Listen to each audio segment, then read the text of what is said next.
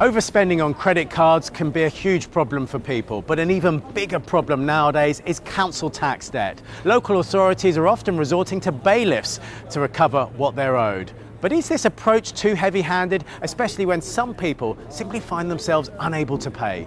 We sent Mark Jordan to investigate.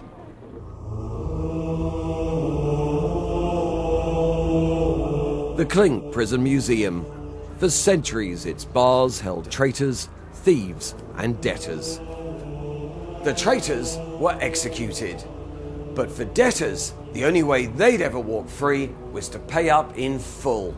But how to do that behind bars with mounting weekly jail charges? The rat man, unable to pay, ate rats until he died. This is a grim place. So, why is it that a leading London barrister thinks many councils are using similar tactics to bring in their council tax debt? Council tax is Britain's biggest personal debt problem and it's growing. Coming? Some local authorities are going down the road of bankruptcy, making people insolvent, which um, hugely multiplies their debt, with the consequences that they lose their homes, their businesses. It is utterly devastating. It's probably in some ways actually worse than but now than being jailed for council tax default. To be honest, I'm losing sleep, I'm anxious, I've got a lot of anxiety. The worst cases I've uh, been involved with myself, people have actually committed suicide. Four years ago, Peter Williams brought trains to a halt after killing himself on the railway. His home had been taken away for failing to pay £1,350 over council tax debt. The problem was Peter was mentally ill. Um, nobody realised this at the time, and as a result, he was literally hounded to death over what was a relatively small amount of money, £1,350, which was inflated to over £70,000 by, by the time of his death. It was all costs. He'd paid his council tax. This was all cost.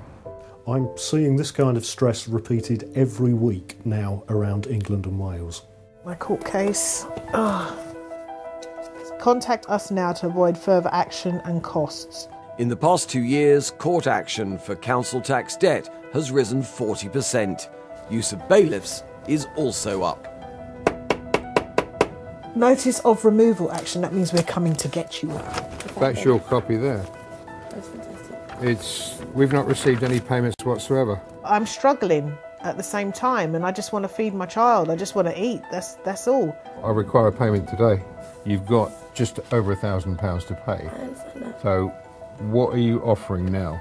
97% of us pay our council tax bill, but debt campaigners claim over 200,000 bailiff visits were made in London to those who don't. The figures show, if you look at boroughs across London and in fact across England and Wales, that there's very different practice uh, in different boroughs. It's a postcode lottery. Westminster Council sent bailiffs out over 18,000 times, while Havering was a tenth of that. In less than a decade, government grants to councils have been cut by a third. Whoever you're looking for, it's not me. That's not my Westminster and several other councils declined to be interviewed, but all insist they avoid targeting the vulnerable, only using bailiffs when sustainable repayment plans have failed. I'm asking a simple question. But single unemployed mum Michelle is watching her £86 council tax debt spiral.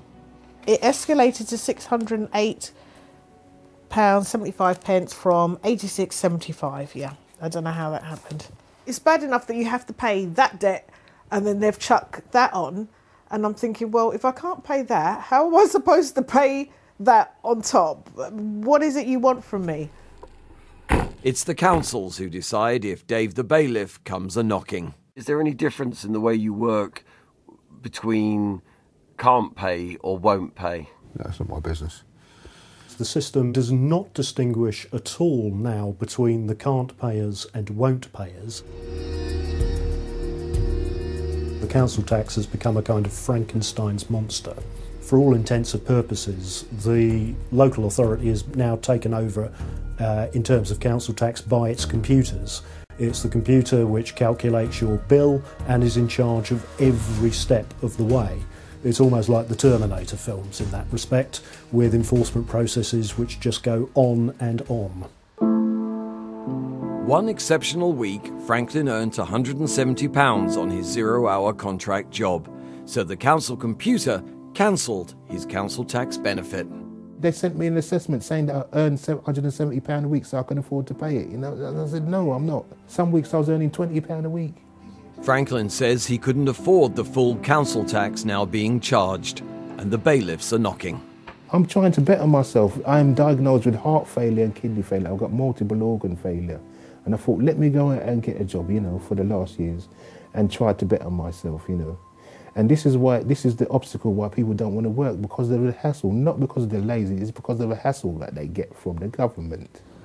Uh, the letterbox is jammed up, so uh, in some cases where it's impossible to get the money back, then uh, there's nothing else we can do. Are you finding that more and more? Yes, yes. People haven't got the means to pay. Mike Thompson was a bookseller until a devastating illness meant he could barely work. His council tax debt would take his home and lead to recovery costs 30 times the original arrears of 2,900. The council forced the sale of the house. I got just over £6,000 as my share of the proceeds. The other 85, 86,000 pounds was swallowed up in the debt itself, plus all the costs that had accumulated along the way. Now Mike lives in sheltered social housing. And guess who's paying? Now the government foots full housing benefit for me, which is currently about eight and a half thousand a year. The lawyers who do this business for local authorities prosper mightily, but the local authorities themselves actually, in the great scheme of things, actually lose out big time. At Hammersmith and Fulham Council, they've begun to wonder if bankrupting, seizure of homes, and use of bailiffs is working. They claim bailiffs only recover 30% of council tax debt and are getting rid of them from April. If a family's trying to keep the bailiffs away and then prioritises the bill for council tax, they then might miss their rental payment, and then you're left with a homeless family um, being traumatised, but then presenting the public sector with a huge bill in terms of rehousing and all the other impacts homelessness can have. Good morning, you're through to Lietta at First Credit. How can I help? First Credit are in charge of Hammersmith's ethical new debt collection. We don't add any interest or charges to the balance. Like TV Money Advisors, they set up a payment plan. We would never um, look to sort of pursue any bailiffs or. I'm hoping for Hammersmith they will end up with the same amount of money collected or more, which they can get back to the residents. And I'm already seeing on cases they've given up on, I'm already collecting money on cases they've given up on. So I know that will give them more money back for their residents, which is a win win. Are you worried that some people might go out and buy a telly rather than pay the council tax if you're ethical? I am very optimistic that this will work. We are not stopping debt collection, we are just doing debt collection in an ethical way. But the bailiff industry warn Hammersmith's experiment will backfire. The civil enforcement industry has collected about, around about £650 million worth of local authority debt to dispense with the enforcement service will come at a price. I think that in two or three years' time, uh, the coffers will be looked at and the question will be asked, where's the money? Yeah, they've come up with all sorts of excuses. Then you can normally read them, whether or not they're lying or not. Well, I can anyway.